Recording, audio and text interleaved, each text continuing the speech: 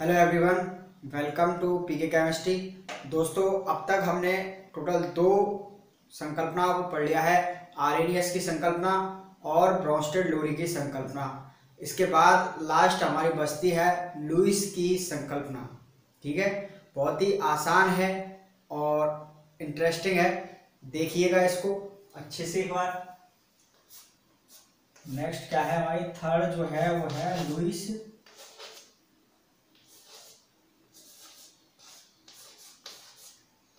संकल्पना। Lewis concept. ठीक है? तो इसने क्या बोला कि इसने जो अम्ल और क्षार को परिभाषित किया, वो किया था इलेक्ट्रॉन युग्म के आधार पर। किसके आधार पर परिभाषित किया था? इलेक्ट्रॉन युग्म के आधार पर। अगर ब्रॉन्स्टेड लोरी की अगर हम बात करें तो ब्रॉन्स्टेड लोरी ने H प्लस आयन के आधार पर परिभाषित किया था। अम्ल क्या होते थे? जो एच प्लस आयन देते थे। जो एच प्लस आयन दाता थे, उनको तो कहते थे अम्ल। और जो एच प्लस ग्रहण करते थे, या हम कह सकते हैं, जो एच प्लस ग्राही थे, वो क्या थे आपके? क्षार थे। ठीक है ना? आरएनएस की बात करें तो आरएनएस ने बोला कि जलीय विलयन में, उसकी बात किसमें थी? जलीय विलयन में। तो उसने बोला, अगर जलीय विलयन में कोई पदार्थ आपका क्या देता है? एच प्लस आयन देता है तो अम्ल कहलाता है। और कोई ओ एच माइनस आयन देता है तो क्या कहलाता है? क्षार। इसने इलेक्ट्रॉन युग्म के आधार पर परिभाषित किया। अब देखिए, इसने क्या बोला? अभी मैं शॉर्ट में बता रहा हूँ, आपको लिखा दूँगा पूरी डेफिनेशन इसने बोला कि अम्ल क्या होते हैं, वे पदार्थ जो क्या करते हैं? इलेक्ट्रॉन युग्म इलेक्ट्रॉन युग्म क्या करते हैं? ग्रहण करते हैं। इलेक्ट्रॉन युग्म ग्राही ठीक है? और क्षार क्या होते हैं? क्षार होते हैं आपकी इलेक्ट्रॉन युग्म दाता। ठीक है? इलेक्ट्रॉन युग्म दाता। अब बात आती है कि इलेक्ट्रॉन युग्म क्या होता है। ठीक है? तो आपने नाइन्थ क्लास में पढ़ा है कि तीन टाइप के बंद होते हैं। जैसे अगर हम बात करें इसकी तो ये नाइट्रोजन और हाइड्रोजन के बीच कैसा बंध है? एक सह संयोजक बंध है। कार्बन और हाइड्रोजन की बात करें तो कैसा बंध है? सह संयोजक बंध है। सह संयोजक बंध आपका दो इलेक्ट्रॉनों की साझेदारी से बनता है, जिसमें एक दोनों के एक एक इलेक्ट्रॉन होते हैं। ठीक है? एक इसका और एक इसका, ये बंध बन गया। एक कार्बन का, एक हाइड्रोजन का, ये बंध बन गया। तो इनको तो बोलते हैं हम बंधित इलेक्ट्रॉन युग्म ठीक है? तो ये जो दोनों इलेक्ट्रॉन एक साथ रह रहे हैं, वो इस युग्म को क्या बोलते हैं? हम बंधित इलेक्ट्रॉन युग्म और अब देखिए जैसे नाइट्रोजन के पास क्या होते हैं? पाँच इलेक्ट्रॉन होते हैं टोटल। क्या होते हैं? पाँच इलेक्ट्रॉन होते हैं। तो पाँच इलेक्ट्रॉनों में से केवल ये कितने बंद बनाता है? तीन बंद बनाता है और इसका अष्टक पूर्ण हो जाता है ऐसे। दो, चार छ और आठ। दो इलेक्ट्रॉन इसके पास कैसे रहते हैं? अबंधित रहते हैं। ये तो कैसे हैं? बंधित। ये बंद बनाने में चले गए। ये कैसे हैं? अबंधित। तो ये दो तरह के आपने इलेक्ट्रॉन युग्म देखे, एक तो बंधित इलेक्ट्रॉन युग्म एक अबंधित इलेक्ट्रॉन युग्म तो क्या करेगा कोई पदार्थ, आपने इस अबंधित इलेक्ट्रॉन युग्म को किसी दूसरे परमा, दूसरे यौगिक के लिए क्या कर देगा? दान कर देगा या दे देगा। ठीक है ना?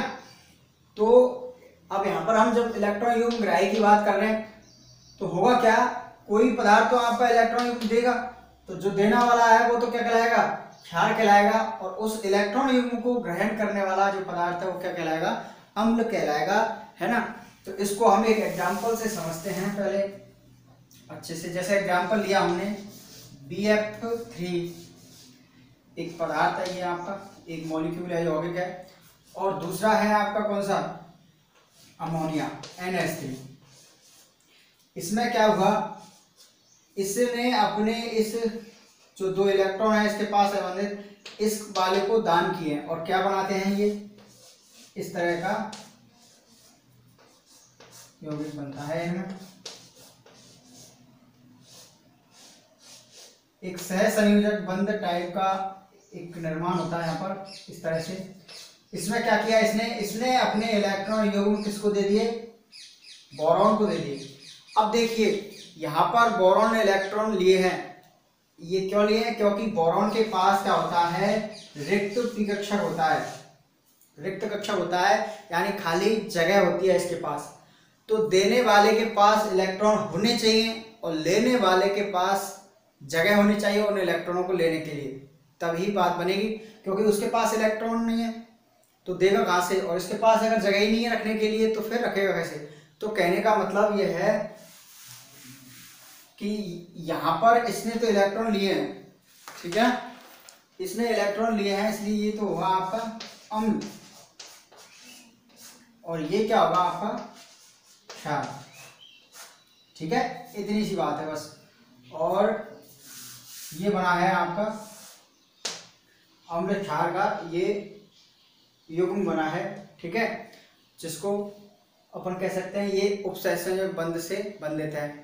एक तरीके का उपसेशन बंध है, ठीक है? हालाँकि ये उपसेशन बंध नहीं है, पूर्ण तरीके से, लेकिन एक टाइप का उपसेशन बंध ऐसे ही बनता है। उसमें एक दाता परमाणु होता है और एक क्या होता है? ग्राही होता है। इसको बेसिकली हम अडक्ट बोलते हैं, ठीक है? तो ये बात थी किसकी? लुइस संकल्पना की। अब आप लिखिएगा इसमें लुइस के अनुसार वे पदार्थ या यौगिक जो इलेक्ट्रॉन युग्म ग्रहण करते हैं, वो अम्ल कहलाते हैं, जबकि वे पदार्थ या यौगिक जो इलेक्ट्रॉन युग्म दान करते हैं, वो क्या कहलाते हैं, आपके क्षार कहलाते हैं। उसके नीचे आप ये एग्ज़ाम्पल लिख देना, ठीक है? ये हो जाएगी आपकी लुइस की अवधारणा। अब देखिए, इसमें कुछ इंपॉर्टेंट पॉइंट और हैं। उससे रिलेटेड कैसे क्वेश्चन आ सकता है? उससे रिलेटेड क्वेश्चन ऐसे आ सकता है कि आपको मानना कि ऐसे कोई एग्ज़ाम्पल दे दिए, जैसे कि अगर हम बात करें बी एफ़ थ्री दे दिया आपको। B S B C L three दे दिया। ठीक है? एन एस थ्री और आपको दे दिया एम जी प्लस टू आपसे पूछेगा, इनमें से लुइस अम्ल को छाटिए। ठीक है? तो देखिए लुइस अम्ल ये है आपका, ये है और ये है। तो आपको नीचे लिख देना है कि लुइस अम्ल ये है इस तरह का क्वेश्चन आ सकता है। ठीक है? या ऐसे जा सकता है कि दो लुइस अम्लों के उदाहरण दीजिए। तो अब यहाँ पहले एक पॉइंट लिखो, इससे पहले, इस क्वेश्चन सॉल्व करने से पहले आप है स्टार लगा के यहाँ पे लिखना है, एक पॉइंट सामान्यतः अपूर्ण अष्टक वाले यौगिक, सामान्यतः अपूर्ण अष्टक वाले यौगिक और धनायन क्या होते हैं आपके? लुइस अम्ल होते हैं। यानी जिनका अष्टक अपूर्ण होता है और जो कैसे, जो धनायन होते हैं आपके, वो सब कैसे होते हैं? लुइस अम्ल होते हैं। जैसे एग्ज़ाम्पल के लिए अगर हम बात करें B F three A L C L three देखिए अपूर्ण अष्टक का मतलब यह है, उनके पास क्या है? खाली जगह है। जैसा मैंने अभी बताया ना कि खाली जगह है, तभी तो वो इलेक्ट्रॉन ग्रहण करेगा। इसलिए ये बी एफ़ थ्री के पास, इसका देखो अष्टक अपूर्ण है, क्योंकि इसके पास छह इलेक्ट्रॉन है। इसकी देखिए हम बात करें तो इसके पास ही है। ठीक है? तो ये दोनों क्या होंगे आपके? लुइस अम्ल होंगे। ऐसे अगर हम बात करें एम जी प्लस टू की तो ये धनायन है। ये क्या है आपका? लुइस अम्ल और हम लिख सकते हैं सोडियम प्लस इस तरह से कोई ये क्या हो गया आपके? लुइस अम्ल ऐसे ही अगला पॉइंट लिखिएगा, नीचे स्टार लगा के। उसमें लिखिएगा, सामान्यतः इलेक्ट्रॉन धनी। कैसे? इलेक्ट्रॉन धनी, जिनको हम क्या कह सकते हैं? रिनाइन कह सकते हैं, क्योंकि रिनाइन कैसे होते हैं? इलेक्ट्रॉन धनी होते हैं, इनके पास इलेक्ट्रॉन की अधिकता होती है। तो सामान्यतः इलेक्ट्रॉन धनी ब्रैकेट में लिखिएगा रिनाइन तथा तथा एकाकी इलेक्ट्रॉन युग्म रखने वाले यौगिक। कैसे? एकाकी इलेक्ट्रॉन युग्म। एकाकी इलेक्ट्रॉन युग्म किसको बोलते हैं? जो अवंधित इलेक्ट्रॉन युग्म होते हैं, उसी को एकाकी इलेक्ट्रॉन युग्म बोलते हैं, जिसको हम क्या बोलते हैं? लॉन पेयर लॉन पेयर जैसे इस अमोनिया के पास है, ये अवंधित इलेक्ट्रॉन है ना तो इसको बोलते हैं एकाकी इलेक्ट्रॉन युग्म। तो इनके एग्ज़ाम्पल लिखना, इस वाले के, जैसे कि मैं बात करूँ एन एस थ्री है आपका, ठीक है? एस टू है आपका, इसके पास दो दो लॉन पेयर है। ये लुइस बेस की तरह हम करता है, ये आपका क्या हो गया? लुइस बेस हो गया। और अगर हम बात करें एन एनाइन की, यानी कि रेनाइन की तो आपका ओ एच माइनस और सी एल माइनस तो यहाँ से कैसा भी क्वेश्चन आया है लुइस अम्ल से हमने कंप्लीट कर लिया है।